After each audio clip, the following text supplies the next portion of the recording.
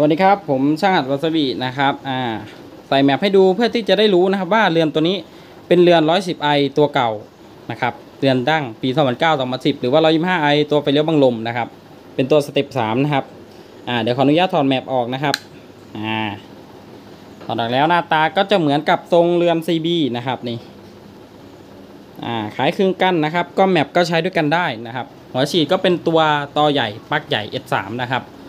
ซึ่งหลายคนถามผมว่าเรือนตัวเก่าเนี่ยควานได้ไหมนะครับ ควานได้ไหมควานได้สูงสุดเท่าไหร่นะครับอ่าถามว่าควานได้ไหมผมตอบเลยคำตอบเดียวกันกับช่างทุกคนแน่นอนว่าควานได้นะครับ ควานได้แต่ใบที่ขนาดใหญ่สุด สูงสุดที่ควานได้เนี่ยผมไม่แน่ใจนะครับ แต่ผมรับอยู่สูงสุดก็คือใบ 28 มิลนะครับ แบบแค่พอกมหาอุดแบบนี้เหมือนเรือนตัวปกตินะครับนี่ ก็คือผมได้สูงสุดคือ 28 มิลที่ผมควรได้นะครับ เกินนั้นไปก็คือผมทำไม่ได้แล้วนะครับ เพราะว่ามันขาดมันขาดเอาหมดเลยนะครับ 29 ก็ขาดเลยนะครับ ปากตรงนี้จะขาดเลยนะครับ ปากตรงนี้จะขาดเลยนะครับอ่าตัวเรือนตัวนี้ลูกค้าส่งมาจากจังหวัดสารคามนะครับอ่าส่งมาก็เขาไม่ได้ถามอะไรเยอะหรอกนะครับพอถามปุ๊บเขาก็ส่งมาเลยนะครับ แล้วก็ จ่ายมาก่อนนะครับโอเค ผมก็เร่งให้นะครับ แต่ส่วนมากเนี่ยผมไม่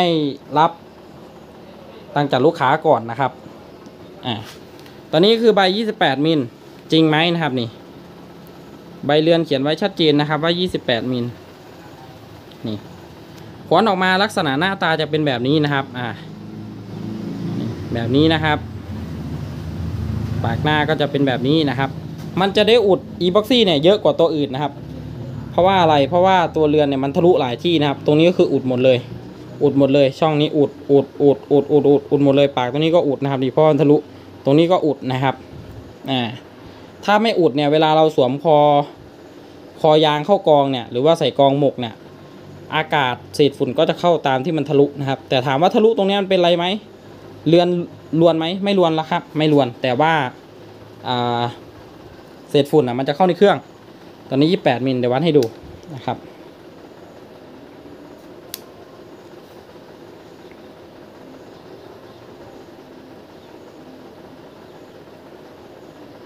เวลาคว้นเรือนเนี่ยเราวัดหาแบบ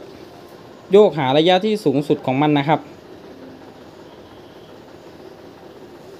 ว่ามันได้สูงสุดในตรงไหนนะครับ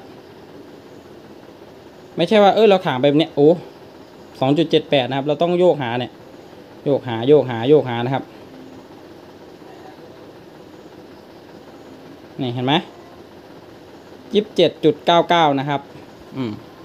มันไม่ถึงสามสิบนะครับ ถ้าสามสิบอ่า มันไม่ถึงยี่สิบแปดเป๊ะนะครับ เป็นยี่สิบเจ็ดจุดเก้าเก้าเพราะอะไรนะครับ เพราะว่าผมจะคว้านเนี่ยบวกลบศูนย์จุดสองนะครับ อ่า ลบศูนย์จุดสองนะครับ ก็ประมาณสักยี่สิบเจ็ดจุดเก้าแปดจุดเก้าเก้าหรือว่า 28 เป๊ะนะครับ จะไม่เกิน 28 นะ จะไม่ 28.01 นะครับ เพราะว่ามันจะมีแสงเยอะนะครับ อ่า แล้วค่ามันก็จะไม่ได้นะครับ รถอาจจะเพี้ยนจะรวนได้นะครับ อ่าเดี๋ยวมาให้ดูแสงกัน อ่า ตัวใบเรือนก็เปิดปิดข้องปกตินะครับนี่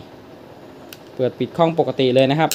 ตำแหน่งดูในระยะเดิมทุกอย่างนะครับ ผมไม่ได้ปรับเซตอะไรทั้งสิ้น อะ เดี๋ยวไปดูแสงตัวนี้ตั้งแต่ควนมาเนี่ยตัวนี้เป๊ะสุดนะครับ เพราะว่าส่วนมากจะเห็นแสงนิดนึงเลยที่ผมควนมา ตัวนี้ฟุกหรือเปล่าไม่รู้นะครับนี่อ่าดูกันเอาเองนะครับ สักครู่ครับผม นี่ นี่เห็นไหม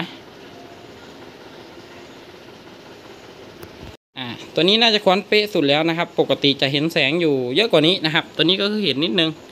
นะครับ อ่านี่ อ่านี่เห็นไหมนี่นะครับ เห็นแสงไหมนี่ตรงจุดหนึ่งนะครับนี่